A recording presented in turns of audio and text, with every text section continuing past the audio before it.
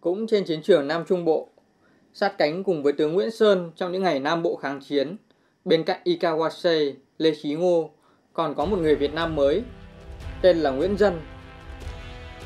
Ông có tên khai sinh là Ơn Phây, một người Áo, và ông tự nhận mình là một người Do Thái thành viên phục vụ Hồ Chí Minh.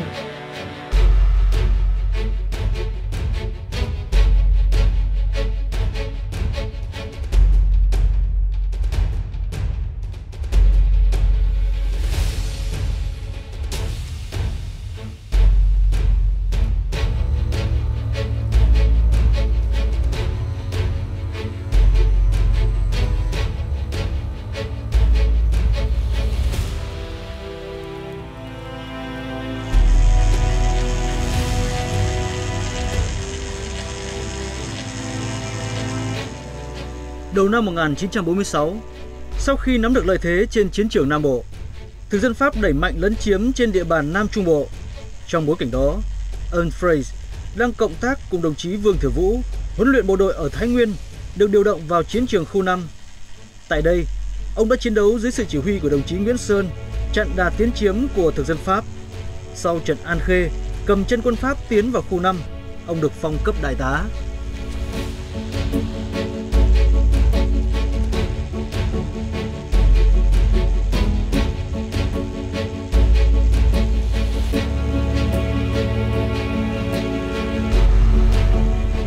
Cuối năm 1946, thực dân Pháp tăng cường gây hấn ở Bắc Bộ, Nguyễn Dân trở ra Bắc, chỉ huy một trận địa pháo 75 ly ở Hà Đông, góp sức vào chiến công giam chân quân Pháp trong 60 ngày đêm khói lửa ở Hà Nội.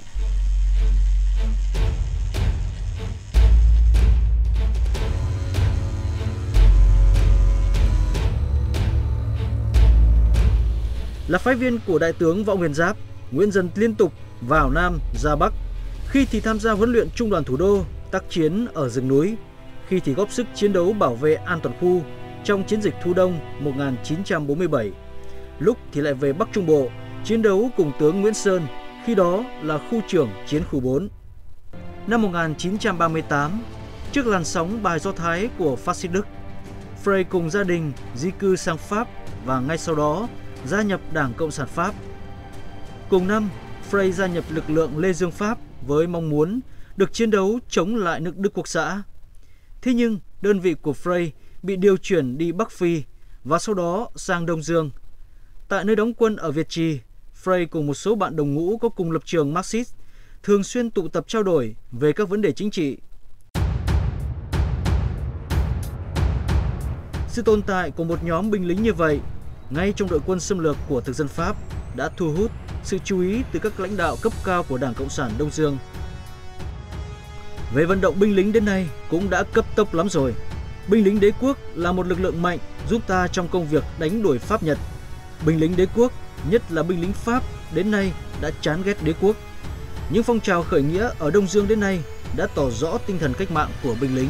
Có thể nói là ngay từ khi mới ra đời thì Đảng ta đặc biệt quan trọng công tác binh địch vậy. Ngay hội nghị Trung ương tháng 10 năm 1930 Đảng đã ra một các cái án nghị quyết, trong đấy có một cái án nghị quyết riêng về quân đội vận động. Công tác địch vận đã được các đồng chí lãnh đạo cao nhất của ta quan tâm, lãnh đạo, chỉ đạo và trực tiếp thực hiện. Và dưới sự chỉ đạo của đồng chí Trường Trinh thì đồng chí Lưu Quyên, trưởng ban địch vận sư ủy Bắc Kỳ để liên hệ được với một nhóm những người cộng sản trong binh lính, ở cái trung đoàn Lê Dương số 4 ở Việt Trì thành lập được ở đây một cái chi bộ cộng sản đầu tiên trong cái binh lính Lê Dương.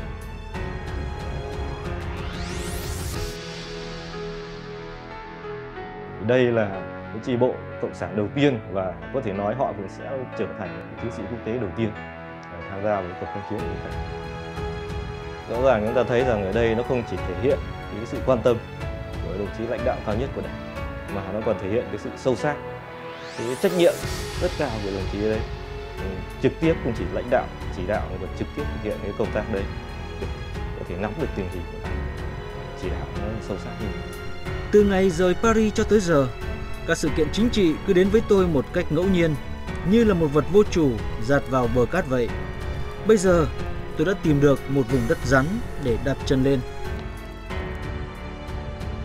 Trong buổi gặp với Tổng Bí thư Trường Trinh, Ơn Phây, Nguyễn Dân chính thức trở thành đảng viên Đảng Cộng sản Đông Dương.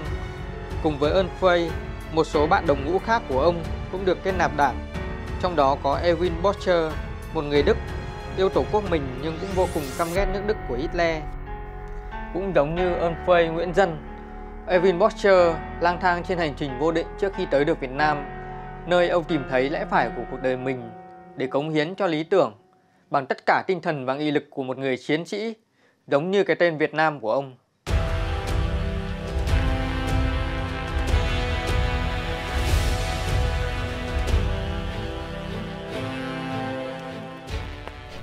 Được là chiến sĩ đấu tranh cho hòa bình, độc lập, tự do, được là chiến sĩ trong quân đội nhân dân Việt Nam, được là chiến sĩ như các anh bộ đội cụ Hồ thì thật là hạnh phúc.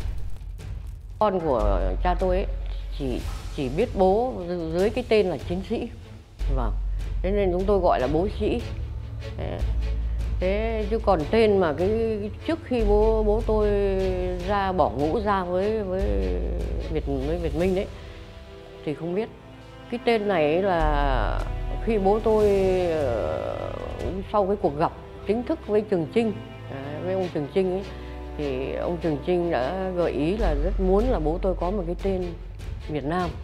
Thế và ông gợi ý là chiến sĩ. Thì bố tôi bố bố tôi đồng ý ngay.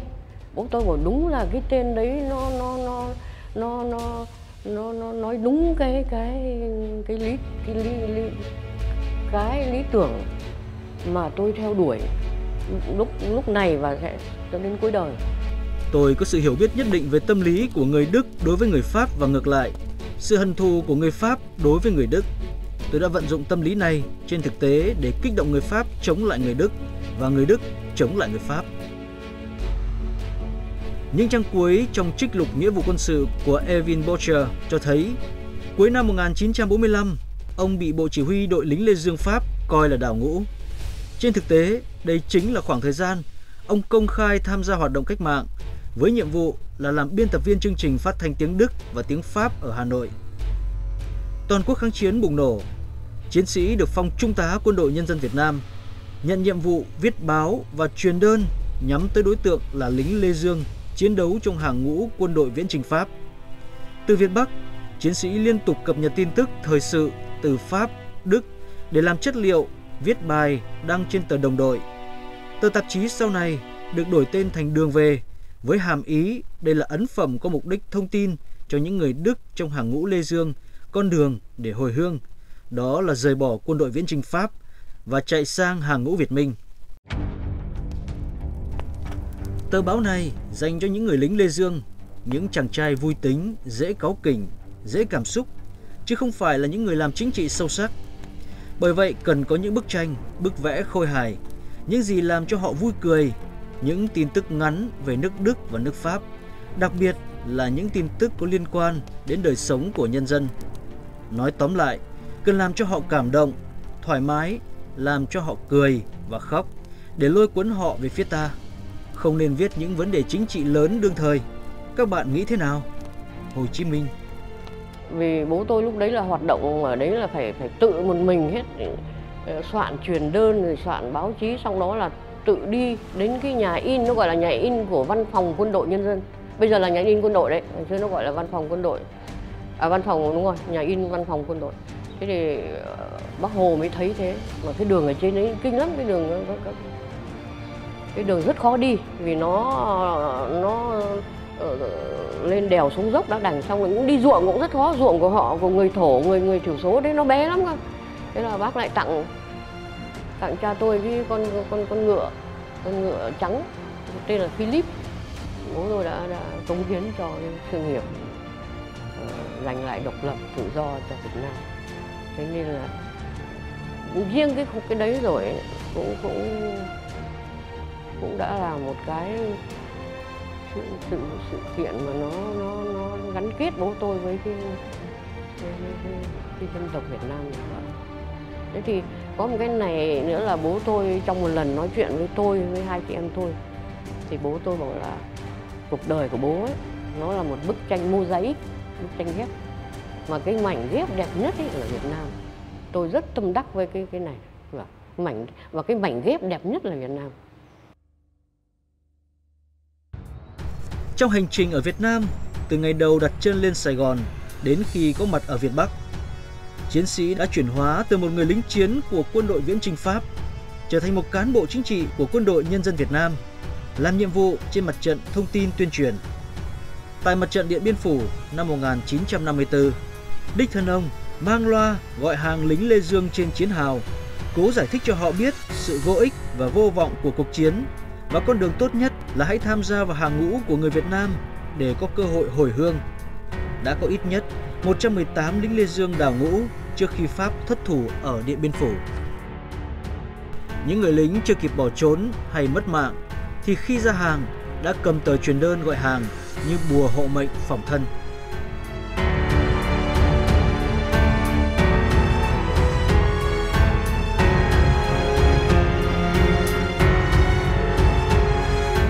Chiến sĩ khi tham gia thực hiện nhiệm vụ thông tin tuyên truyền không chỉ vẽ nên mảnh ghép đẹp cho cuộc đời riêng mình mà còn góp phần cứu vớt những thân phận lầm lỡ, những bước chân vô định khác bước vào con đường sống mà dân tộc Việt Nam mở ra cho họ. Câu chuyện của ông là biểu hiện sinh động cho kết quả của hoạt động binh địch vận, một hoạt động chiến tranh nhưng lại hết sức nhân đạo, bắt nguồn từ tư tưởng nhân văn Hồ Chí Minh và truyền thống nhân nghĩa của dân tộc Việt Nam. Đoàn địch vận cùng đi đến nơi có khói lửa chiến tranh. Bằng lời nói tiếng cười, cần chi súng, ta đem tấm lòng nhân ái chân chính, cảm hóa người bị thực dân khiến sai. Đánh thù bằng lính thù, bắn thù bằng súng thù để giành nhiều thắng lợi vẻ vang. Đánh thù bằng tấm lòng, cứu người bị lỡ lầm, hướng con người cùng đi tới một chân trời tự do, hạnh phúc sáng tươi. Và làm minh vận này theo của Hồ là một cái công tác chiến lược là vì thế này.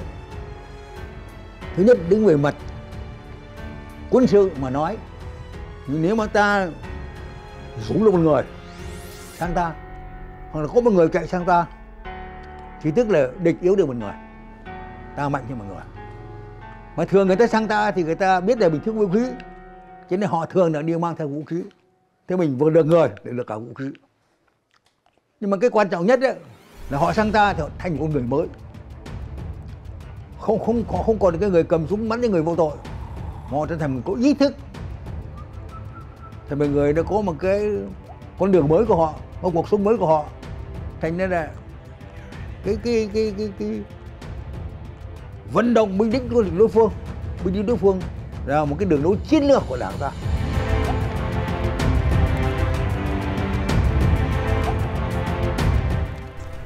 Điện Biên Phủ đang bị vây hãm ngày càng chặt chẽ quân dân Việt Nam đang chuẩn bị phản công với những đòn quyết liệt. Chạy sang phía Việt Nam sẽ được bảo toàn tính mạng và được trở về quê hương với vợ con và gia đình. Ngoan cố theo thực dân Pháp sẽ bị chết bỏ mạng, bị mất xác nơi rừng núi hẻo lánh này. Hãy khôn ngoan giữ lấy cuộc sống, đừng ngoan cố để chết một cách ngu xuẩn. Chú ý, các bạn giữ lấy tờ giấy này. Nếu các bạn đưa giấy này cho các chiến sĩ quân đội nhân dân Việt Nam, các bạn sẽ được đảm bảo an toàn và chăm sóc chú đáo.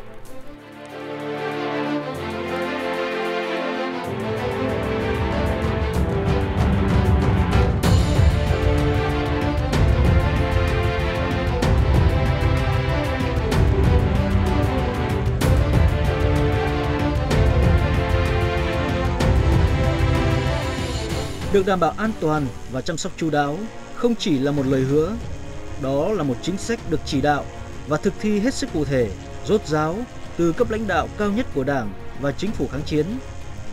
Và cũng không phải tới Điện Biên Phủ, tù hàng binh Pháp mới nhận được sự ứng xử nhân văn này.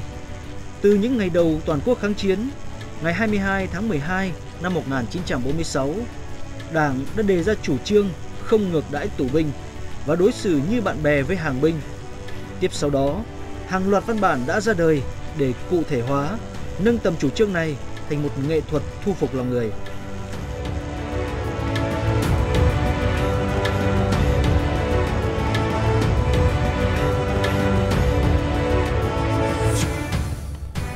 Biệt đãi tù binh là công tác chính trị. Theo đà thắng lợi của cuộc kháng chiến, công tác binh địch vận dần tiến tới những chính sách có thể nói là hiếm thấy theo thông lệ chiến tranh. Tù hàng binh không những không bị ngược đãi, thậm chí được biệt đãi, được đối xử như bạn bè. Từ tháng 5 năm 1948, Khi ra hàng, hàng binh Âu Phi sẽ được lĩnh một số tiền thưởng, được đưa về chiêu đãi sở, hưởng sinh hoạt phí cao gấp từ 4 đến 5 lần sinh hoạt phí của bộ đội. Độc đáo hơn, nơi gọi là trại tù binh giam giữ họ, không hề có tường rào, dây thép gai. Có những nơi còn áp dụng quy chế tự quản, nghĩa là hầu như không có sự giám sát nào ngoại trừ chính tù binh của trại giam.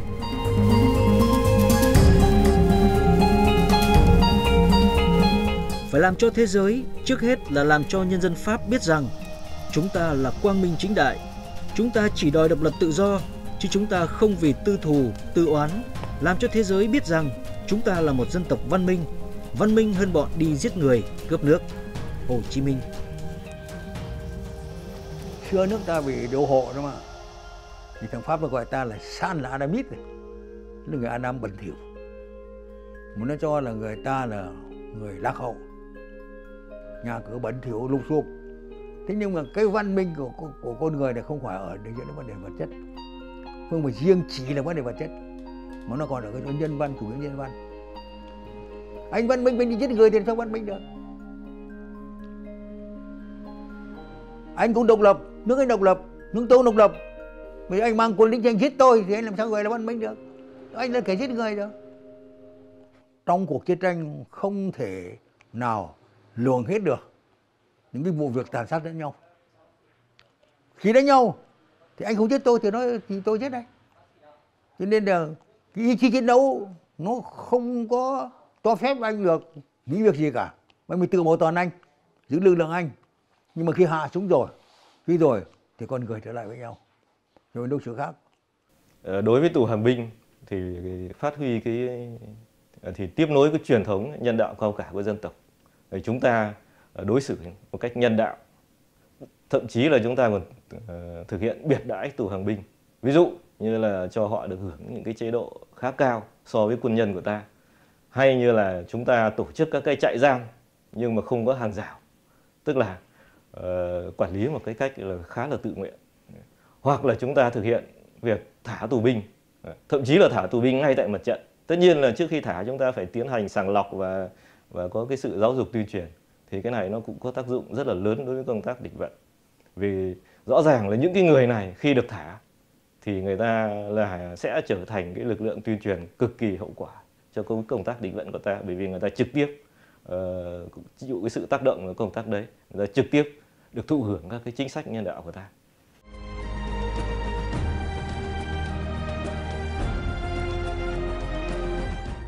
Nếu như biệt đãi rồi giam giữ theo hình thức tự quản đã là những chính sách nhân văn vượt lên trên quy định của công ước quốc tế thì công tác binh địch vận của Đảng thậm chí còn tiến xa hơn, táo bạo hơn với chủ trương thả tù binh.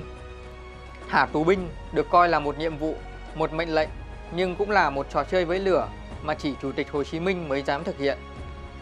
Vậy Bác Hồ đã dựa trên cơ sở nào để thực hiện chủ trương vượt tầm thời đại này?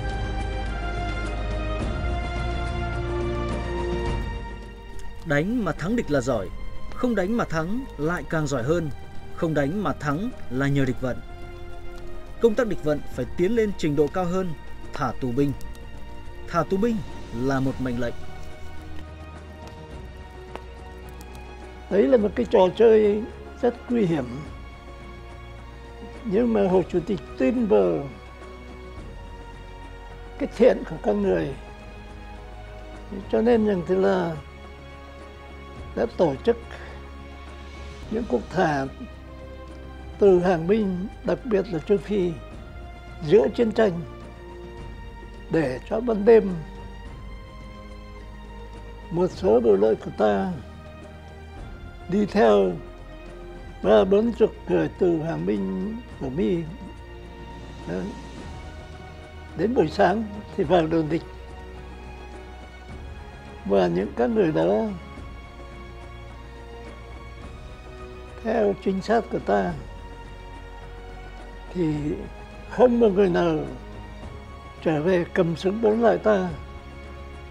Như vậy là một chủ tịch đã làm một cuộc thách thức thách thức về lương tâm con người và cái tính toán của Hồ Chủ tịch đã đúng.